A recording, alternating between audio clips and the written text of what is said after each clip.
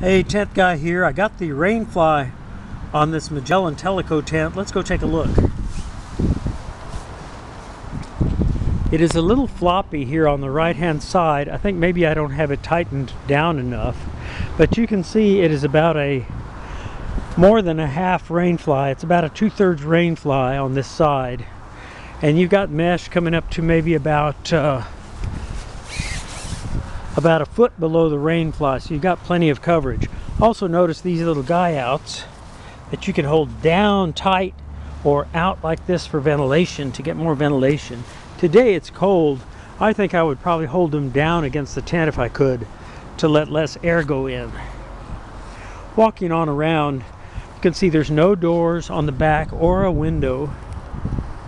It's just a basic one door tent but it is nine by nine and that's enough for three people.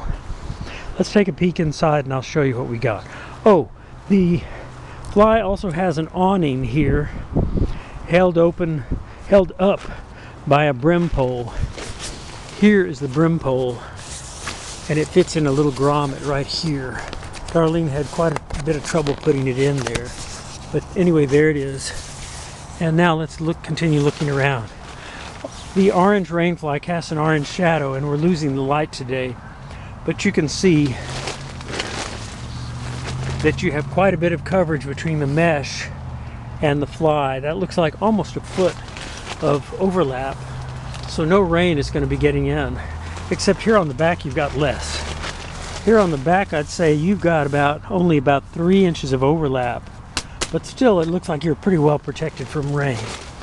Up above I do not think they gave us a gear hanger, but maybe they did.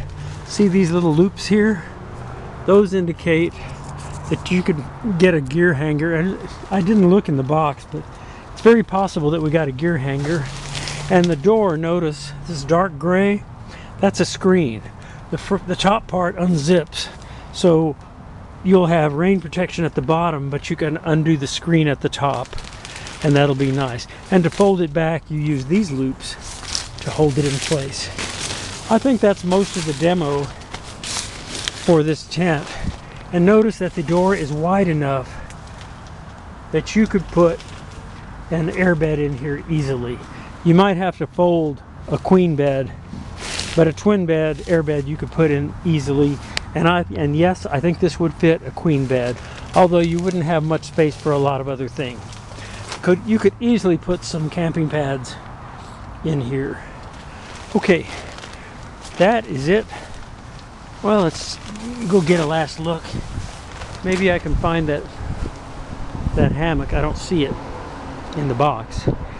And that is your last look at this Magellan Tellico tent.